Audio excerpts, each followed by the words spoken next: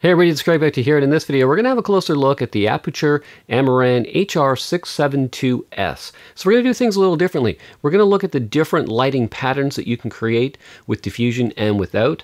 Then we're going to look at some of the potential uses that you could use this light for in your work, and then we'll talk about the specs. So first up, we're going to look at this undiffused. So what I'll do is I'll place this light about six feet away from me at about 45 degrees from the camera and down. So we're just going to have the one light.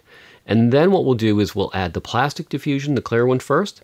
Then we'll try the EZ Softbox Plus, and then we'll try it with the grid. So you'll see a number of different lighting patterns.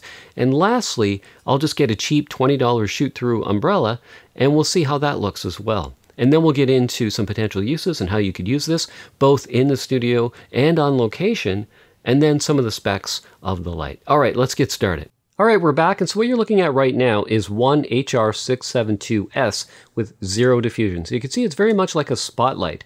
Look behind me, you'll see very dark, harsh shadows, harsh light on my face. Now, if I take a meter reading, it's about F7. So my settings are ISO 400 on my camera, and I'm shooting at 24 frames per second. So that means my shutter speed is set for 50 and it's about f7 is my aperture and the light is six feet from me at about 30 degrees from the camera. So you can see that's very bright. Now if you want it to be brighter you could bring it in closer. If we got into three feet it would be a lot brighter. So you could use this outside and indoors as well. Now what we're going to do is we're going to add the plastic diffuser and I'll let you see how that looks. All right, so now what you're looking at is the plastic diffuser. So I haven't moved the light. It's about six feet high six feet from me, 30 degrees from the camera at full power, just like it was before. I'm going to take another meter reading and we'll see how that goes down. So it dropped down to f5.6. So whenever you add diffusion, you're going to reduce some of the power, but you could see it's spreading the light a little more. If I look at the background, the shadows are a little softer. I'm pretty close to the background. So what we're going to do is we're going to put on the optional softbox. So this is the EZ Softbox Plus, and you'll get to see how it looks when you use the softbox. All right, so what we're looking at now is the HR672S with the plastic diffuser plus the EZ Softbox Plus. So you can see that it's a softer source of light. If you look behind me, the shadows should be a little softer. The light is spreading out a little more. And if I take a meter reading, we've dropped down from f5.6 with just a plastic diffuser to f3.2. So I've opened up the aperture a little bit. Now again, we're about six feet away, so if you wanted a brighter light source, you could bring it in closer, bring it in three feet. It's going to get more powerful.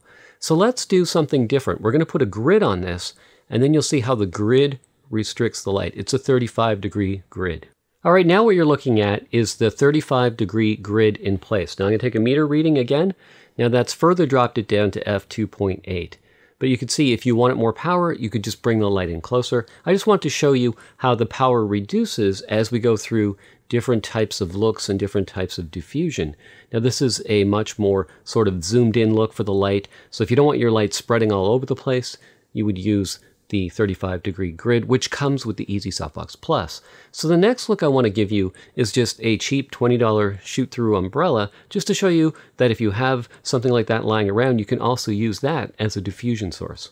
All right, what you're looking at now is the HR672S with a cheap $20 shoot through umbrella. So with the mounting bracket that it comes with, you can use it with umbrellas. So you can shoot through an umbrella or you can turn it around and have a bounced light source off an umbrella as well.